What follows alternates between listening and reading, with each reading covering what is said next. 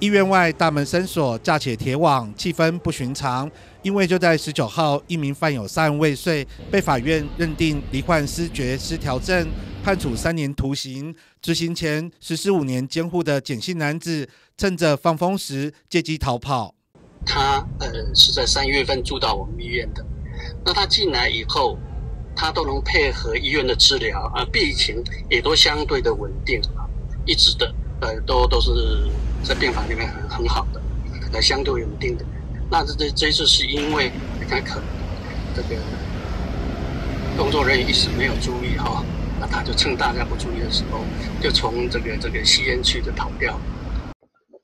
简姓男子逃逸的画面曝光，监视器拍下他出现在成功二路往三十一号桥方向行走，随后就失去了消息。目前刑事局已经发布了通缉令，也公布简姓男子的照片，金融警方全力追缉中。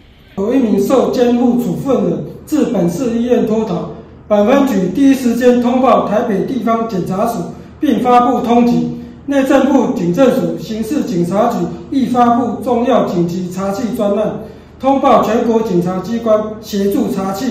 警方呼吁该简姓脱逃受监护处分者疑似患有精神病史，且具有攻击性。离院时着白色上衣、黑色长裤，外穿长袖方格纹衬衫。民众若有发现外貌相似、形迹可疑的男子，请立即拨打一一零通报警方。